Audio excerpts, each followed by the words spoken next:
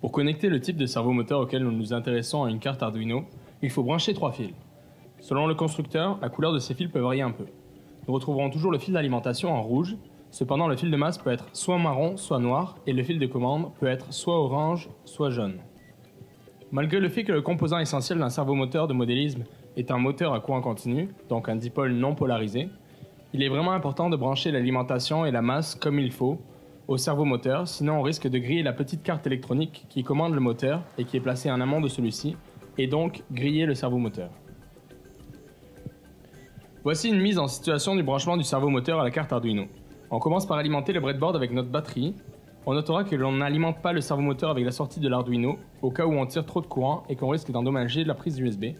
Il suffit ensuite de respecter le code couleur et connecter le fil de commande à une des sorties numériques supportant le PWM de la carte Arduino celle notée avec un petit tilde.